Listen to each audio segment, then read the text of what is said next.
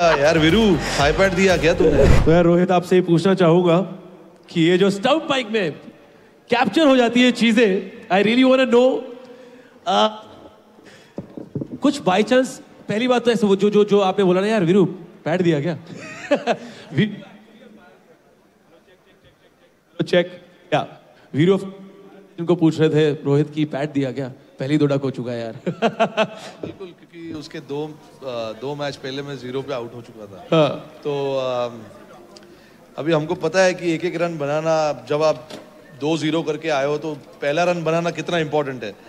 तो वो बैट से लग के चौका हो गया था बट अंपायर ने शायद देखा नहीं तो उन्होंने लेग बाय दे दिया था तो मैंने मैं स्कोरबोर्ड देखता नहीं ज़्यादा बैटिंग करते वक्त। मेरा ध्यान बैटिंग के ऊपर होता है तो ओवर जब समाप्त हुआ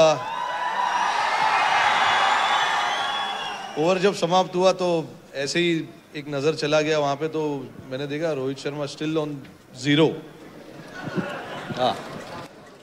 still still on zero तो मैंने बोला यार चौका लग गया था फिर अभी भी ज़ीरो कैसे? तो उस, तब मैंने पूछा यार वीरू आईपैड दिया क्या तूने बहुत बढ़िया। तो ये स्टंप माइक के मीम्स बहुत बन रहे हैं रोहित भाई। इतने सारे मीम्स बन रहे हैं माइक पे जितनी बातें आ रही अभी तक का आपकी फेवरेट जो आपने डायलॉग बोले हैं जो लाइनें बोली है हमारे लिए तो डायलॉग होते हैं वो है ना? एक्टर के लिए डायलॉग होते हैं इनके लिए लाइनें होती है वो।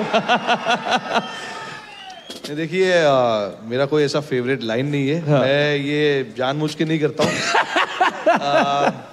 जब अभी पहले क्या होता था कि अभी मैं कैप्टन हूँ तो स्लिप में खड़ा रहता हूँ। हाँ। क्योंकि स्लिप से जो एंगल्स होते हैं कहाँ पर फील्डर होना चाहिए और वो जो डीआरएस का जो सिस्टम है वो स्लिप में से थोड़ा सा बेटर पता चलता है। इसीलिए मैं स्लिप में रहता हूँ और स्लिप में क्या हम लोग बात करते रहते हैं कीपर और मैं बात करता हूँ जो शॉर्ट लेग सिली पॉइंट पे खड़ा है मैं बात करता हूँ उनके साथ। अ, तो माइक एक्चुअली लोगों के लिए अच्छा है but last question last question Rohit भाई।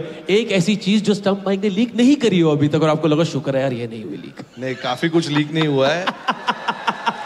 आज कर दो लीक। रोहित भाई आज कर दो मैं कह रहा हूँ बिलासपुर के लिए ये भी कर दो मैं कह रहा हूँ।